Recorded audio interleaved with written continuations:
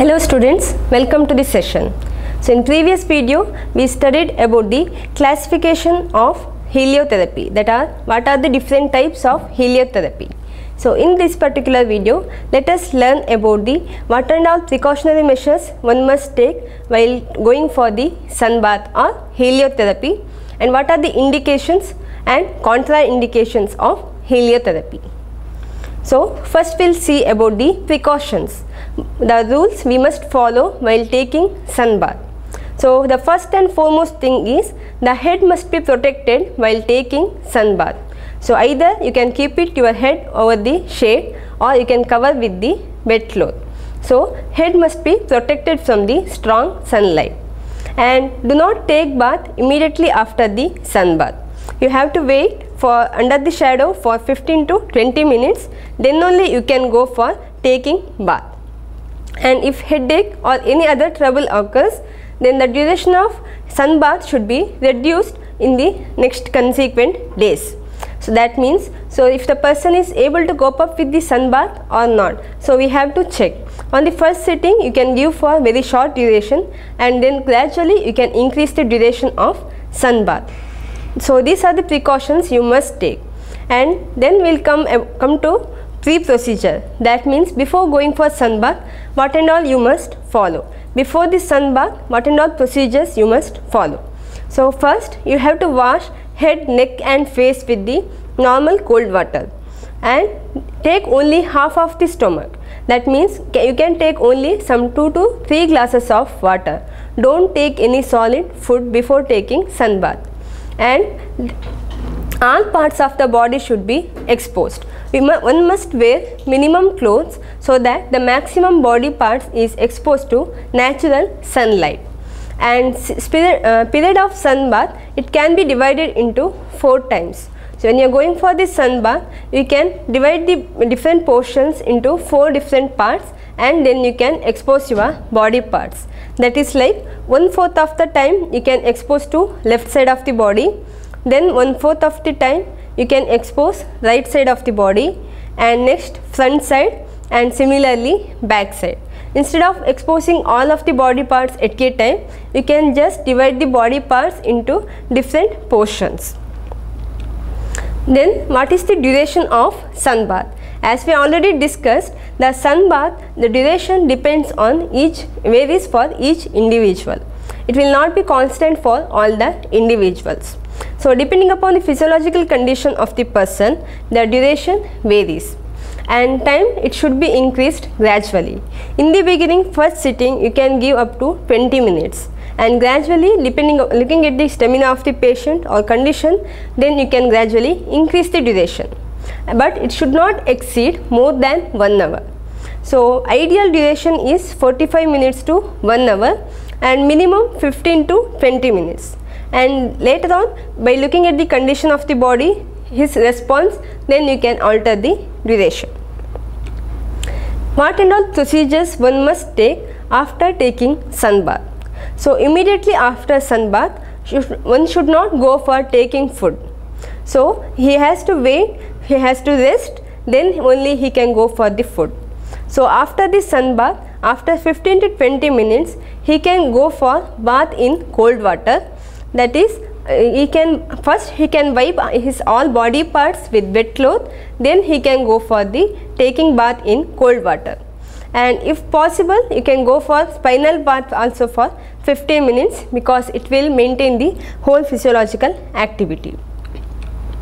So these are the uh, procedures we must follow while taking sun bath. Next we will see about the benefits of heliotherapy. So how heliotherapy will effect on the body. The main important thing for every human body is sleep. So if the sleep is perfect and sound then the whole physiological functioning will be working normally. So heliotherapy it mainly helps in increasing the melanin production in the body. So melanin is the important pigment for skin color and also for improving the good sleep. So that is the one, one and foremost important benefit of the heliotherapy. Second, it stimulates the metabolic activity in your body. So it improves the basal metabolic rate. So it can be advised for all obese individuals. And third benefit is it has positive effect on the general health. So when body's metabolic activity is improved and sleep is improved, automatically the general health of the body also will be improved. And also it improves condition of gland and also improves the secretion of different uh, chemical compounds in the body. And fifth important benefit is vitamin D formation. So we are well aware that vitamin D is very much necessary for the human body. The main natural source of vitamin D is sunlight and it's also necessary for proper absorption of calcium in the body. So vitamin D is in a, uh, we can get enough amount of vitamin D from the sunlight exposure. And sunlight it soothes the nerves, boosts mood and increases the production of endorphins and serotonin. So endorphin and serotonin, these are the two hormones they are called as happy hormones but, it, but because it improves the mood of the individual. So we can even advise heliotherapy for depression patients. So next we will see about indications of heliotherapy. So in which and all conditions we can advise heliotherapy. So you can treat osteomalacia that is the bone disorder and rickets. Ricket mainly occurs due to calcium deficiency.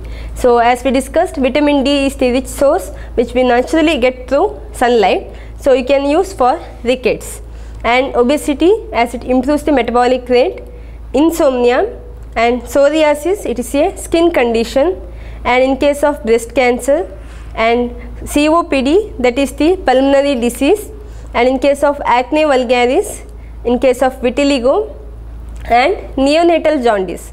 So we must uh, we might have observed in hospitals soon after the birth of the baby the some babies they will be prone for jaundice there will be yellow discoloration then the doctors or pediatrician they will advise the baby to expose to natural sunlight in the early morning. So for neonatal jaundice it is best medicine and in case of psychologically depressed patients and in case of rheumatoid arthritis, low back ache, osteoarthritis hemiplegia, scabies and in case of TB. So, no, there is no as such contraindication for heliotherapy. Almost everyone can take heliotherapy but you must take with precaution. So, when we come into contraindications of heliotherapy, so in case of cardiac disorders, in case of angina pectoris or chronic hypertension, we must avoid uh, sunbath or heliotherapy and in case of fever already the body temperature will be more so we can just avoid uh, sun bath and in case of leukemia edema measles conjunctivitis and in case of hypervitaminosis D. So that is the condition where the vitamin D level will be more than normal in our body. In such condition we should not expose ourselves to natural sunlight. So next are the general benefits of heliotherapy. So it gives good complexion and it also builds natural resistance in our body. And it also works as antiseptic. It's good for skin diseases and it improves the immune system of the body and encourages healthy circulation in the body improves mood and improves melatonin production in the body. And it, it is very much important for improving the function of the liver in the body and it decreases the risk of breast, colon and prostate cancer. And it metabolizes cholesterol, decreases blood pressure, resting heart rate and increases the output of the blood. And decreases seasonal affective disorders like sadness, insomnia, carbohydrate cravings. And also reduces the frequency of cold up to 40 percentage. So, when sun bath we are taking it leads to sweating open the pores of the skin thereby it helps to remove the foreign particles from the body. So main pathological effects that is overexposure it may result in premature aging, wrinkling and skin cancer.